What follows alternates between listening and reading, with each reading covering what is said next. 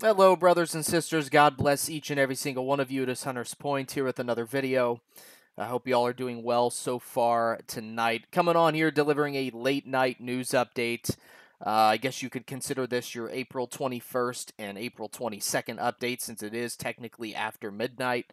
But I wanted to come on here real quick and talk about a couple of articles that I read earlier this evening that I wasn't sure if I wanted to report on or not but I'm just kind of feeling prompted to come on here and knock out a late night news update. So, this is your world news update for both April 21st and April 22nd, uh, 2021. Don't be surprised if I end up coming on later uh, on the 22nd.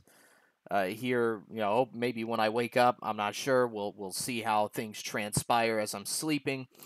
But I wanted to come on here real quick and talk about a couple of articles that I found off of endtimeheadlines.org. So without any further ado, let's just get right into the update. First article The United States halts plans of sending destroyers into the Black Sea after threats from Russia. Uh, Russia's been threatening the U.S. quite a bit over the past few days, as tensions between Russia and Ukraine have certainly uh, continued to rise. Uh, there, there's no sign that things are de escalating. In fact, it's quite the opposite. Uh, things are rapidly spinning out of control as far as I'm concerned. Whole lot of stuff going on alongside the border between Russia and Ukraine. Russia is now reported to have uh, over 175,000 troops stationed alongside the border with Ukraine. Uh, Ukraine's reportedly going into full mobilization mode, so we'll have to see how all that plays out. I've been reading all over Twitter on some of the various OSINT uh, accounts. There's a whole bunch going on, but this is a threat that was actually made from Russia to the United States, essentially saying, like, you know, stay out of our region for your own good. I actually covered that on a previous news update. And now the United States has actually decided to halt plans of sending I believe, two destroyer warships into the Black Sea after continued threats from Russia. The Pentagon has just flinched after recent warnings from Russia over interfering with the ongoing escalations between Moscow and Ukraine, and has now reportedly dropped plans to send destroyers to the Black Sea. The report states that after further incidents have occurred in Eastern Europe between Ukrainian soldiers and Russian backed separatists, officials have now decided to not send destroyers uh, to essentially avoid needlessly escalating the situation further. According to Politico, the transit was scrapped due to a myriad of different reasons, including a desire to not provoke Russia during what is seen as a very delicate time. And the report goes on further to note that Turkish Foreign Minister Mevlut Cavusoglu, I'm sure I didn't pronounce that correctly, but he's the foreign minister of Turkey, uh, stated in a recent interview with NTV TV that the United States had reportedly notified Turkey on Wednesday that the ships would not be heading into the Black Sea. Quote, we routinely operate and conduct operations in the Black Sea and throughout the European Command, which is the area of operations, according to Pentagon spokesperson John Kirby in a statement that he released to reporters last week. And as you know, I'm not going to forecast or speak about you know hypotheticals or about future operations, according to Ukraine's uh, Ministry of Foreign Affairs. But they have stated that Russia announced that it would be closing part of the Black Sea near the Kerch Strait for foreign warships until at least October.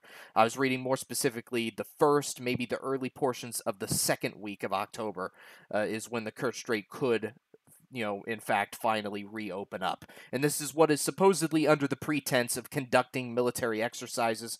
I'm pretty sure anybody with a functioning brain at this at this point could see that there's no military exercises going on. I think it's clear as day that Russia's preparing for a full-fledged invasion and takeover on Ukraine. Again, not sure exactly how things are going to play out, but it's certainly looking like here in the next, I would say, two to three days is when we're going to see things really hit their peak you know, hit their proverbial boiling point, so to speak. So that is what's going on right now. That's sort of the up to date information in regards to Russia and Ukraine, and more specifically, the U.S.'s reaction to continued threats coming out of Moscow uh, within Russia.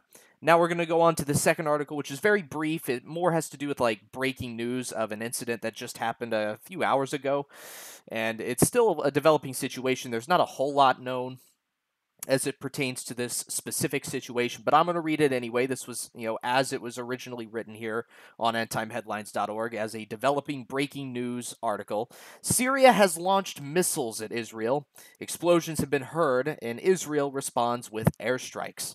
Uh, air, you know, after residents from across Israel heard the sounds of sirens blaring and loud explosions that shook homes across the region, it had been confirmed that a missile was launched uh, singular, not plural, so that's my mistake. A missile was launched uh, from Syria at Israel.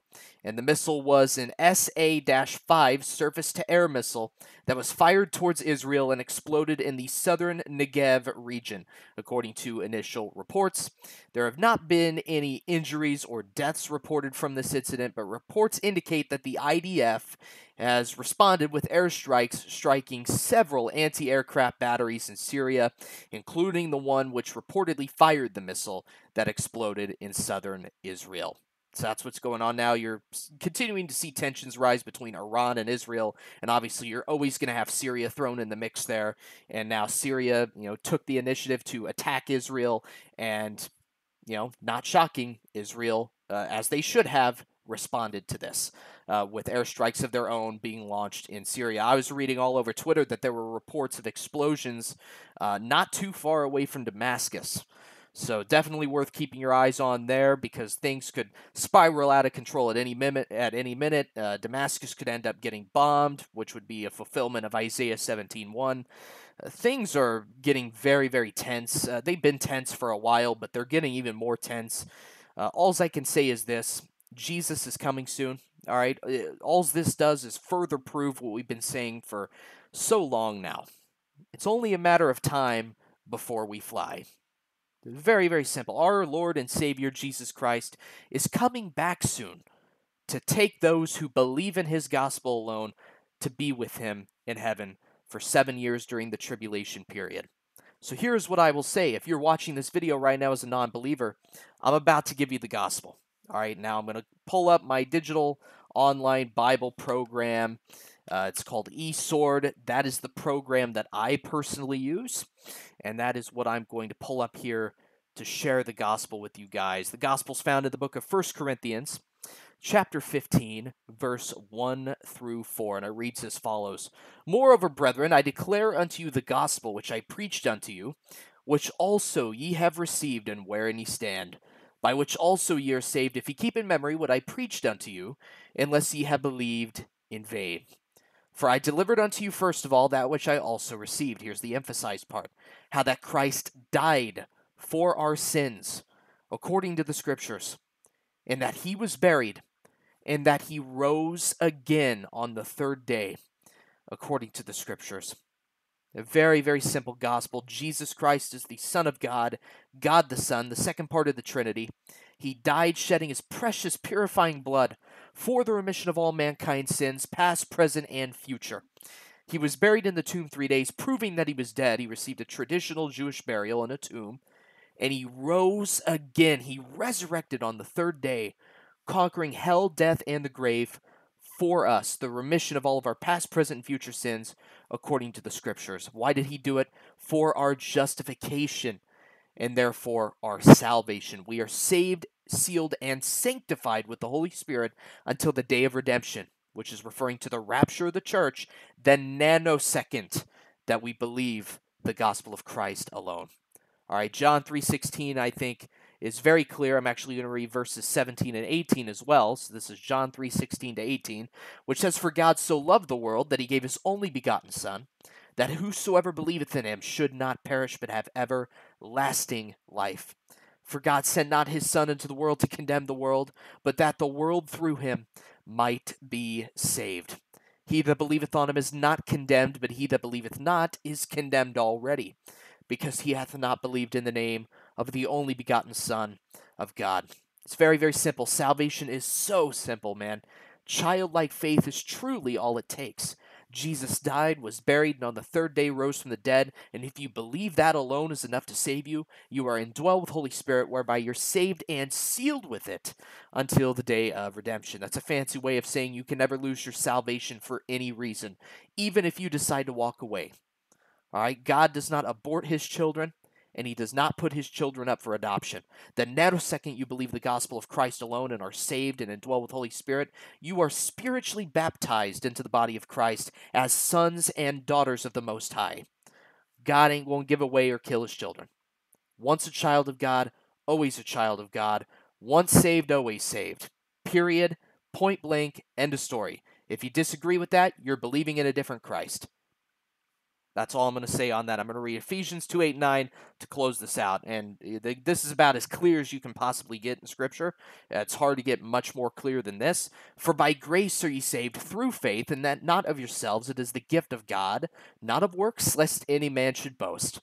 Grace, by definition, is getting what we don't deserve, which God offers to us as the free gift of salvation and we accept that free gift, we receive that free gift once and for all, past, present, and future, by faith alone in the finished redemptive work of Jesus Christ alone, his death, burial, and resurrection for us almost 2,000 years ago.